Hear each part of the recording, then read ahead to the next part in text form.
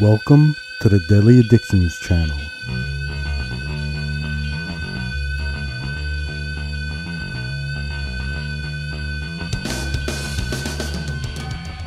Hey there, we're gonna talk about a movie called The Bone Collector. The Bone Collector came out in 1999, described as a thriller film, directed by Philip Noyce. Noyce! Starring Denzel Washington and Angelina Jolie. As a fan of these type of thrillers, this one stands out to me.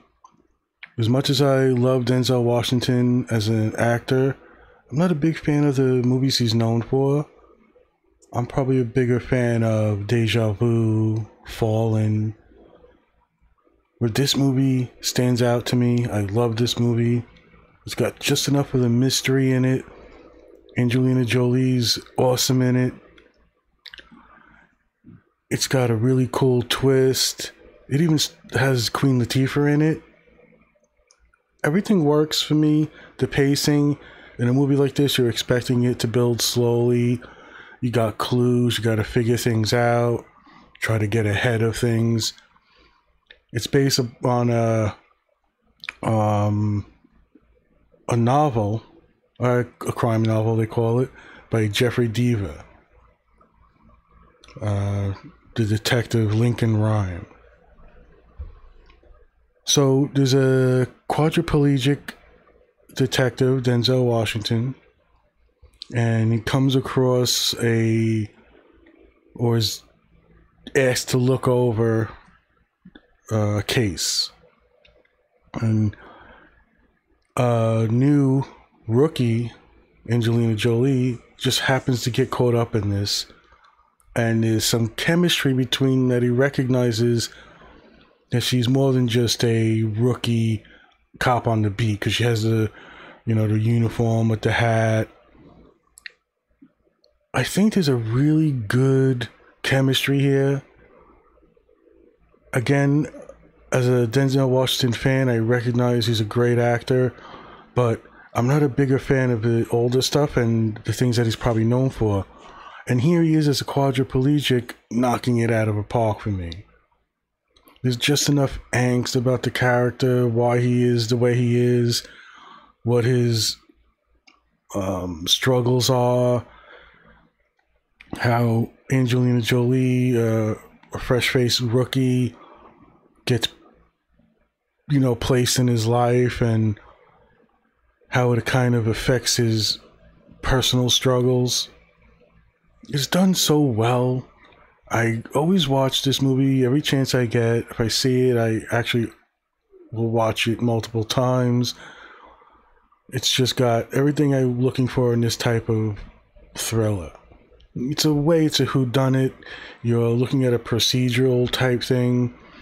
There's horrific setups and rituals that the killer does that you're trying to get ahead of, trying to, you know, uh, you know, get ahead of the game. If you if you can understand what he's doing, the patterns, you can get ahead of it and, and catch him and stop him. And that's the gist of it without giving away major spoilers or plot lines. Now, I there was an announcement for a TV show. I don't know if it ever came out, but I'd be interested to see if that's something that was uh, had even a potential of coming out. Because I'd like to see the exploits of this character. To give you a little bit of how he got to where he was, I don't know if he's a forensic expert who has like a history or when he got paralyzed, then he went into uh, certain areas or something. But there's a underlying story about his uh, struggles and how deep he is. At the same time, he's trying to uh, save people's lives. So some of these setups are gruesome. There's a uh, you know horror element, but in a real life way that some people might find kind of off-putting. There's you know depictions of real kind of torches and death scene setups. Um, Seven might be a good example in a way. Another movie I love. This isn't as pulse pounding as that, but it's got enough of the elements that it works on, you know, almost every level for me. There's a personal stake here with his attitude towards life and coming to understand you know what he can do for the force or i guess his work and the ex- kind of extended family he keeps at bay so to so to speak. I think they're giving the hint that it's recently because they do show how he was injured. So i'm not sure if it's like within two years ago he was injured that type of thing i'll have to do a little bit more maybe I should do some actual work with this stuff but The Bone Collector is one of those movies I find myself always watching. It's filmed awesome. It's got a great feel to it. It's got enough of the thriller with a uh, you know a who done it type thing, putting the puzzle together, keeping your your mind going at all times, trying to figure out you know what's misdirection. It just gets really deep with um, how the killer's mind works and you know, you got this rookie who he sees these traits and he's kind of grooming her to say, you know, you you have the eye, you know, you have the because he's got to walk her through. it. She doesn't know how to keep a crime scene clean, like all that stuff in the beginning, and he's got to walk her through it, and it adds a level of um, realism, and he can see how sharp she is and how good she is at her job, how. Uh, her methods are maybe something he could leave behind as if he can hone them and get them better to show her that she doesn't have to be a normal B cop, but she has a special talent. There's a lot of levels to the movie in that way, and like I said, there's a personal struggle. Know, he's a quadriplegic, stuck in a bed, trying to help out with a murder. There's a plot twist type thing that involves um, you know, his past and how he was injured and what he's done during his career. And it's one of my favorite performances of him. He doesn't, he's just lying there. It's just amazing. So maybe in a sense, I would uh, go back and watch some other movies that never interested me or that I don't have a great uh, fondness for because he is that good of an actor. and the cast works so well together.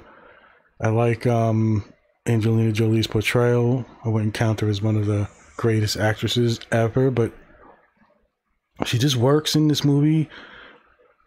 It just wows me every time I watch it. Entertainment value is there. The Bone Collector is a really good movie. Underrated if there's a. I don't know, I'm so detached from that. Uh, you know, now that I'm just getting back into things maybe there's a huge uh, um, amount of fans or something for a movie like this.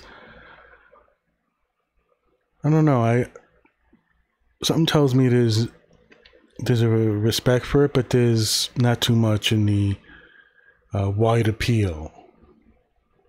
I think it's an excellent movie. Um, in my opinion, great. I recommend everybody watch it if you're into this thriller who done it type get ahead of the killer.